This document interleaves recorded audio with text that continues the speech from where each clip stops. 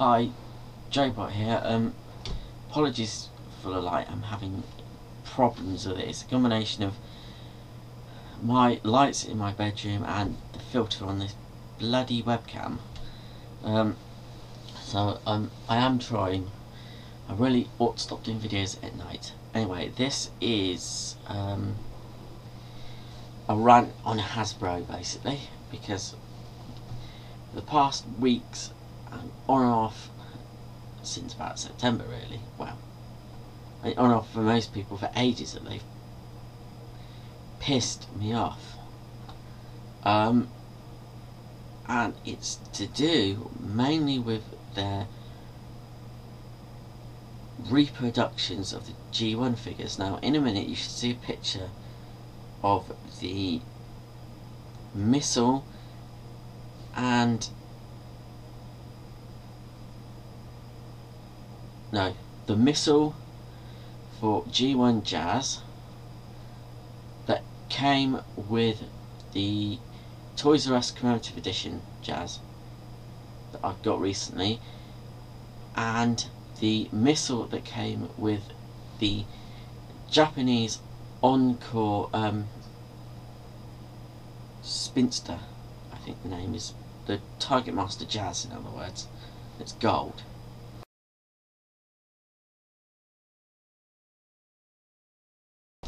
Now, the black one is the one that Hasbro made, which is not a reproduction of the fucking G1 missile. It's com been completely designed. They've cut the detail on the top, but they've rounded off the rest of it.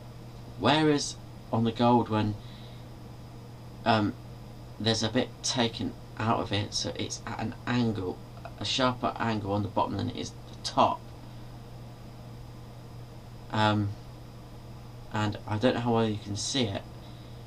There's also detail missing off the top of it on the Hasbro one. Why do they feel the need to do this? And they did it with their version of the, um, I think it's Spinster, the Target Master Jazz, we'll say. Same missile, black. Not chromed like it should be, like the original. Same with the weapons. Why? What's the point? It's meant to be a reproduction of the original. It's not the original. The fact it's not the commemorative series, or at least the cars. I'm not talking about Power Powermaster Primary thing because that's different, or the Japanese cars like um, Jazz, the Target Master Jazz because they're taking the Takara mold. They're well, they are the Takara ones. There's nothing wrong with them. But it's these ones. They're not. They haven't used the original molds. As I pointed out my Prowl one, when I found it out when I tried the G1 weapon in the commemorative Prowl.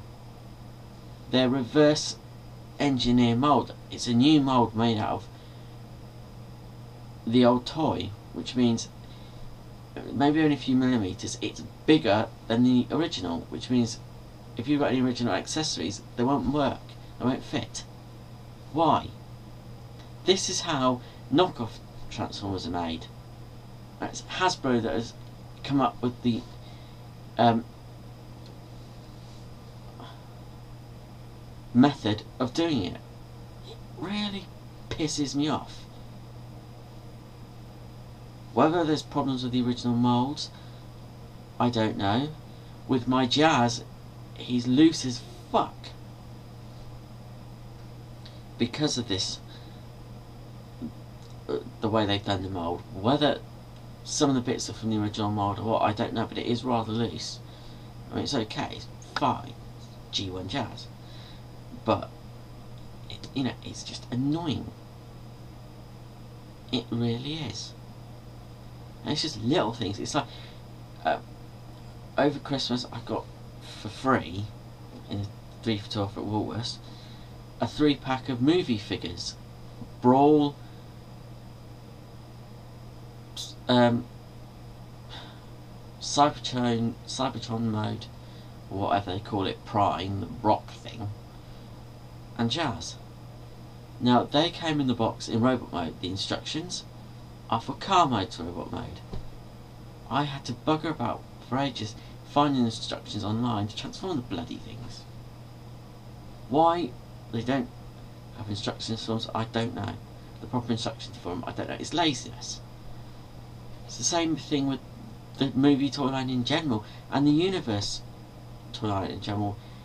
Reissue, really, um, releasing Cybertron figures. I don't mind that in one line because I haven't got them, but in two lines, two different lines, why? If you're gonna um, reissue them, use old molds, use RID molds, use generation molds, generation 1, generation 2 molds. Make life easier for a lot of people trying to get hold of the old G1 stuff. It's just laziness. It's the same thing with this 25th anniversary Prime. Hang on a minute. I'm going to show you something this works. That's the box. Now, I'll go into this in my review. The box is a, a bit different.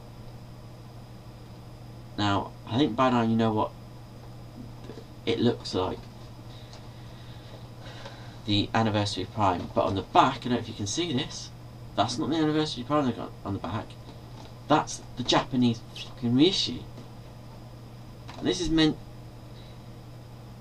to um, the market. Um, it's been released to the market. What am I trying to say? And this toy is meant for collectors. It's not been marketed to kids, it's been marketed to collectors. What are you trying to do? Trying to take the piss? We're not that stupid. We can tell the difference between two different reissues of a Transformer. The fact that this one's got the right size missiles and the right size smokestacks says a lot. That think that that just really annoys me. That does. It's just why do they do it? I don't have too many problems with reprints, repaints if it's it's necessary. There's too many in the movie line. Um, I've got the universe reprints. I think have come out repaints have come out too quick. No sooner have they got Silverbolt and um,